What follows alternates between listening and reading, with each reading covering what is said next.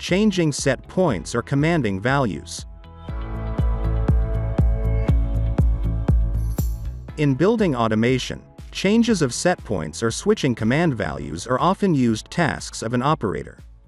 The treatment of events, for example, is also one of the commanding topics, but we will deal with it in the chapter specifically dedicated to it. Please note that these tasks require read and write permissions for the objects and it is possible that the privileges may be restricted for your user. In the following we show a few possibilities. When selecting the main object of a plant in the system browser, as shown here, for the air handling unit plant, the main value of the plant is marked in the graphic, which in most cases is the operating mode.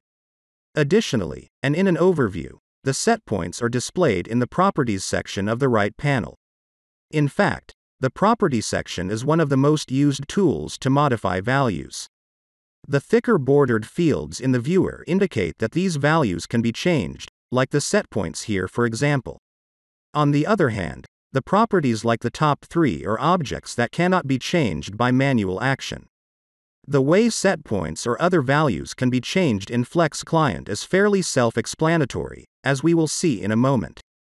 To change a set point, such as the cooling set point, we select the field that changes the border to green as feedback. The tool offers us three possibilities to make the change select the value and rewrite it, change the value with the spin buttons, or change the value with the graphic replication using the slider. Confirmation with the green checkmark will execute the change and updates the plant control in the graphic page. To change the operating mode manual, the application offers us a drop down menu. As a demonstration, we select off and confirm the change, which causes the air handling unit to turn off. We switch to automatic operation and let the control do the job again. To remember a value change later, we can use the memo feature in the right panel to create, view, and edit an object memo. A memo can include notes about an object being out of service, scheduled maintenance, value changes, or ordered parts. We note the set point change and save the entry. Clicking on Edit allows us to add more comments.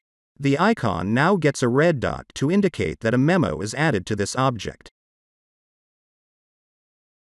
For the next exercise, we select the outside air temperature sensor.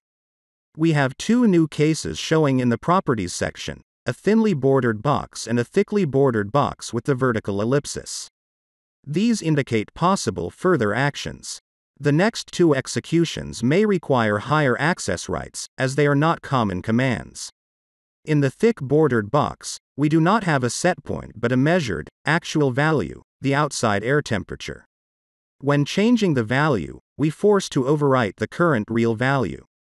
This is indicated in the graphic with an orange arrow.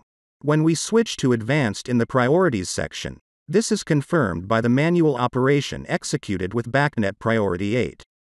Via the command offered in the vertical ellipsis, we can now release the manual overwrite with auto and return to the normal state. In the next case, Devices, aggregates, or entire plants can be put out of service, for example, for maintenance reasons.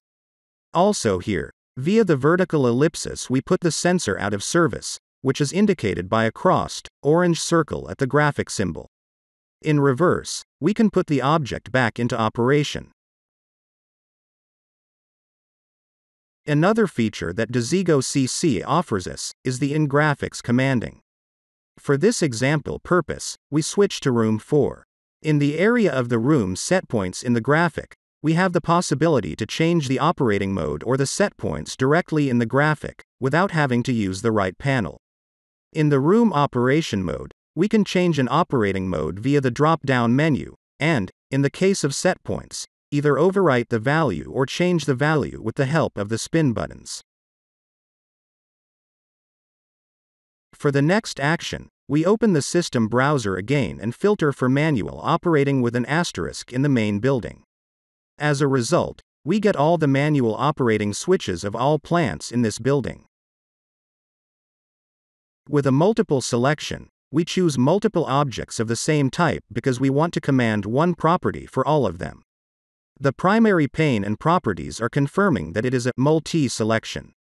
The property section lists all common properties of the selected objects to operate, in our case just one, the value.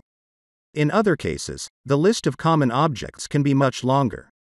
By clicking on this box, the viewer lists all the manual operation switches and additionally a field at the top that is available for the joint execution of a command, separated from the others by a thin line. So, the viewer offers us the possibility to execute a command with the topmost field, which will be executed on all other objects. Or the possibility to execute individual commands for each plant. Our goal is to switch off all the plants in this building by manual operation switch. We change the operating mode to off and confirm the action. As a result, the plants shut down or change operation to protection, where no operating mode off is available. The common command to auto brings us back to the desired starting point. Please note. When selecting multiple objects, no notes can be entered in the memo. The user interface of course adapts to the defined privileges of a user. This is our next subject.